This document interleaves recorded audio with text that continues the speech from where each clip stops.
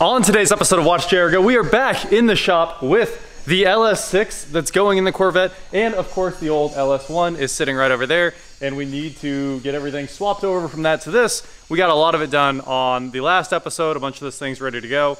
Today we have to finish cleaning this engine up, that was really our holdup, and then we should have everything switched over.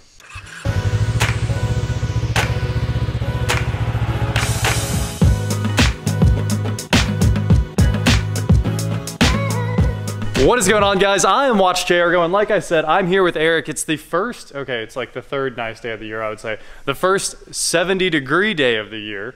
And uh, that means we can get this thing outside and give it a rinse off to knock off just a little bit of oil residue that's on it, clutch dust on the back. And that's also gonna let us finish getting all the parts off of the old engine onto this engine. So that was kind of our holdup. It's been snowing and freezing here. So of course there's still like layers of snow and ice outside, even though it's this nice.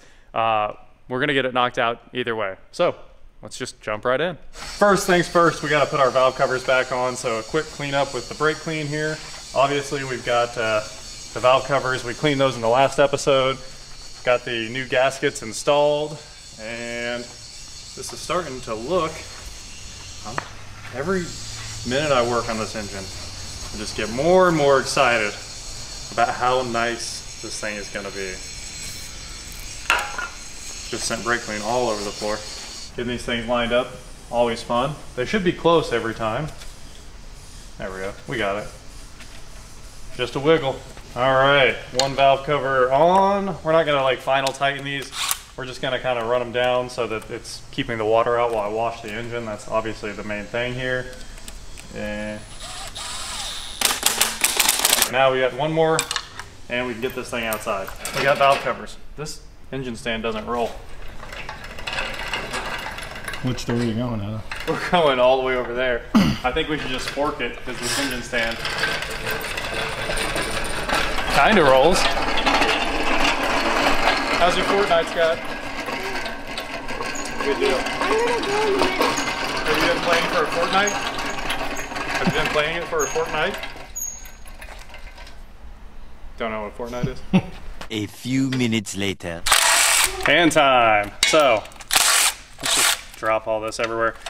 Engine's still a little bit wet from getting it all cleaned up. Let's see, we got a couple bolts holding this thing on still. This thing should just fall right off of here. I, I expect it to. There it goes. I knew it was gonna be heavy. Ooh, still a little bit of oil in there. Time to clean up our mating surface and yeah, we'll do a wipe down and get the pan off the other engine. Man, I thought I dried this thing off super well, but there's still water just flinging everywhere. Um, we're gonna go ahead and pull the pan off this one. It probably has a little bit of oil in it still, so it's gonna be a little bit more fun than the last one, uh, but we should have it off here in just a moment.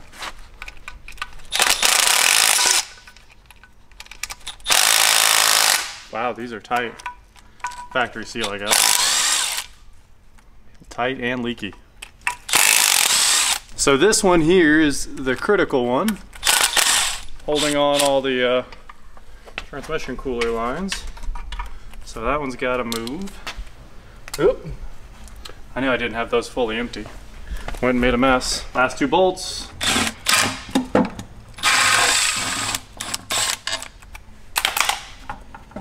Here we go. It feels like there's quite a bit of oil in here, but it's really not that much. It's still milky. That's a lot of milk after that last oil change. You guys can see it, that's like light brown nasty oil. Now that the pan is off the new engine, we're finding more and more good things as we keep going. It just gets better and better. It's got a double roller retirement chain in there. Fancy, fancy more views of the studs. We'll be able to look into the, well, we can look into the ports now. You can see they've been wiped out, but good looking cathedral heads. And the 799s are the same as the 243 basically, which is a really good head. They call the 799 or the 707, something like that. They say this is the hallowed head. It is the one you want. And the old ones, of course, are not even close. A53s or something. Yeah, one of the worst flowing heads, if I remember right. So this is a this is a heck of a build. Eric's grabbing the uh, water temp over there. We're gonna make an O'Reilly's run because there's no uh, pan pickup in this engine. And of course the pickup needs to go right there and it needs a new O-ring. So we've got oil pressure and we're probably gonna move the windage tray as well. Looks like that was uh, that was grabbed. Just a few other things we got to get knocked out. We made an O'Reilly's run, picked up the old 72401. Uh, what we need to do now is check windage tray clearance. The windage tray is on and bolted up. And before I run through and torque those bolts, I want to spin the engine over quite a few times. I just realized we need to pull the spark plugs too. So I'm gonna grab a spark plug socket, yank those, and then we're gonna start cranking this thing over so we can make sure the crank and the rods aren't hitting the windage tray on the way around. So we'll just give it a couple of rotations here in just a moment. And I'm gonna try to look down through the tray. You can see where that light is. I know it won't focus, but go ahead. We're not even close. Keep going. Oh yeah, I think it's perfect. Cool. Good? Yeah, I think so. Uh, let's install the oil pump pickup and tighten down the windage tray bolts and we're ready to do the pan. And the pan is over there clean. It looks really clean, honestly. So, oh, we're ready to put this pan back on too. Yeah. So once the pan came off, it came over here to the solvent tank and now looks brand new. Obviously this is the the smart clean solution there that's brown. So we'll wipe it off the brake clean and I think all the metal will look as good as the day it was built. All right, we are underneath here. Obviously everything worked out great with our uh, windage tray check, clearance check there. So now for the fun part, it's getting this uh, pickup tube O-ring to seat. Ah, it's getting close. These things are always fun to get in there. I'm gonna go ahead and start the bolt so we've got something to work against. And then we'll get it pushed in. Time for our new pan gasket. No special instructions on here. So the factory ones, of course, are riveted in. These are the rivet holes right there and right there. We're not gonna put the rivets back in because the bolts will hold the thing on just fine. So this goes on here like so. Done. Ready to ready to run. That's all it needed. You can see it's been seriously cleaned up inside. The pan looks brand new and I think, I think we are good to go. Oh, that one bolt that I thought was trapped, right? The one that was a nightmare. It has a, there's a hole cut all the way through the whole pan. I forgot about that. Oh man, my bad. Sorry, Eric. I had Eric take it out with a ratchet wrench and it took forever. But I think we're ready. Like, that's it. Windage trays checks out. Everything, windage tray torque to 18 foot-pounds. Oil pickup tube. Um, Eight. Eight, yeah. And so that's good to go. You know, be careful when you do that. Don't pinch the O-ring. We spent a ton of time making sure it was good, good. This is the last piece that needs to come off this engine. I just did a visual walk around of both engines and I think we've got every bolt that needs to be on this engine on it already. So this little clip right here holds the wiring harness to the bottom of the engine. Oh yeah, and it's angled like this. So we're gonna maintain the angle, bring it over here, and I think that's the angle. That's that's got to be it right there. That's it. It's tight. Cool.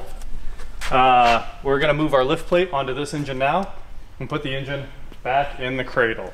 And well, the old engine needs to go on the pallet, so I guess we're gonna actually move that engine over there first, then get busy sticking this thing in.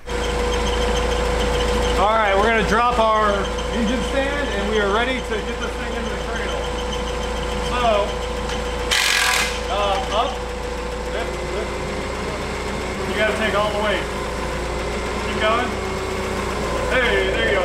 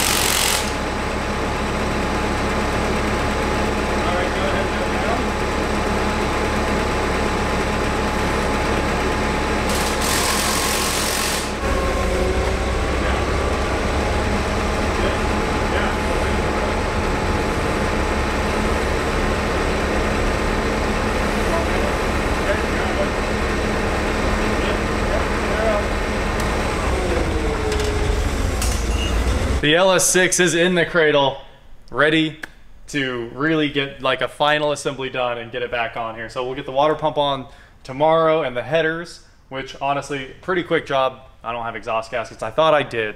And here we are, nighttime with no uh, gaskets. So unfortunately, we had to stop there. Otherwise, I would have done them before they even went into the mounts. But hey, it was easy like this. Um, so we're down to like basic finishing stuff. Like I said, two bolts, three bolts holding on the uh, power steering pump and bracket, and we can pull the lift plate off, hook up the knock sensors, retighten everything. Basically, I just need to go over everything and check it all, and we should be home free. I'd like to do the sway bar and link swallows out because they're really, really, really bad. Maybe tomorrow after I get the water pump and the headers on, we can even get the torque tube on with uh, you know the flex plate and all that good stuff.